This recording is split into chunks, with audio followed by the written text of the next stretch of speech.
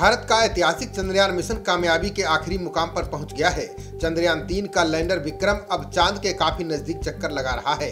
शुक्रवार को शाम चार बजे उसकी रफ्तार को कम करने की इसरो की डीबूस्टिंग प्रक्रिया कामयाब रही।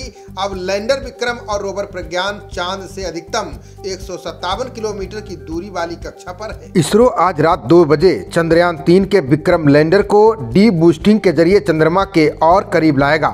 डी बूस्टिंग यानी स्पेस क्राफ्ट की रफ्तार को धीमा किया जाएगा। इस ऑपरेशन के बाद लैंडर की चंद्रमा से न्यूनतम दूरी 30 किलोमीटर और अधिकतम दूरी 100 किलोमीटर रह जाने की उम्मीद है। अभी विक्रम लैंडर की चंद्रमा से सबसे कम दूरी 113 किलोमीटर और सबसे ज़्यादा दूरी एक सौ सत्तावन किलोमीटर है। इसरो ने 18 अगस्त को डी बूस्टिंग के ज़रिए लैंडर की ऑर्बिट घटाई थी। डी बूस्टिंग में यान के चलने की दिशा के अपोजिट डायरेक्शन में थ्रस्टर फायर किए जाते हैं। सबसे कम दूरी से ही 23 अगस्त को शाम पाँच बजकर सैंतालीस मिनट पर चंद्रयान की सॉफ्ट लैंडिंग का प्रयास किया जाएगा। अगर 23 अगस्त को लैंडिंग में कोई समस्या आती है तो एक महीने बाद दोबारा लैंडिंग का प्रयास किया जाएगा, क्योंकि चंद्रयान तीन को अगली सुबह का इंतज़ार करना होगा, जो वहाँ 28 दिन बाद होगी।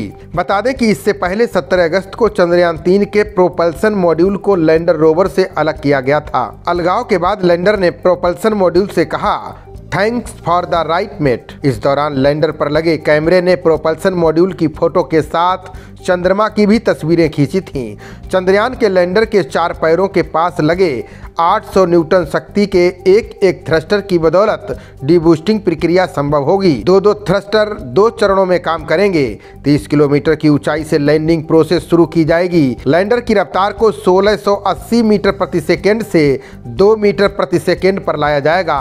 लगभग 100 मीटर की ऊंचाई पर पहुँचते ही लैंडर सतह को स्कैन करेगा और देखेगा कि कहीं कोई बाधा तो नहीं है। उसके बाद सॉफ्ट लैंडिंग के लिए नीचे उतरना शुरू करेगा। लैंडर, रोवर दोनों ही पावर जनरेट करने के लिए सोलर पैनल यूज़ करेंगे। अभी चंद्रमा पर रात है और तेईस तारीख को सूर्योदय होगा, इसीलिए उसी दिन सॉफ्ट लैंडिंग का प्रयास किया जाएगा। बता दें कि 22 दिन के सफ़र के बाद चंद्रयान 5 अगस्त को शाम करीब सात बजकर पंद्रह मिनट पर चंद्रमा की कक्षा में पहुँचा था। तब उसकी स्पीड को कम किया गया था ताकि यान चंद्रमा की ग्रेविटी में कैप्चर हो सके। स्पीड कम करने के लिए इसरो वैज्ञानिकों ने यान के फेस को पलटकर करीब आधे घंटे के लिए फायर किए थे। चंद्रयान ने जब पहली बार चंद्रमा की कक्षा में एंट्री की थी तो उसके ऑन बोर्ड कैमरों ने चाँद की तस्वीरें भी कैप्चर की थीं।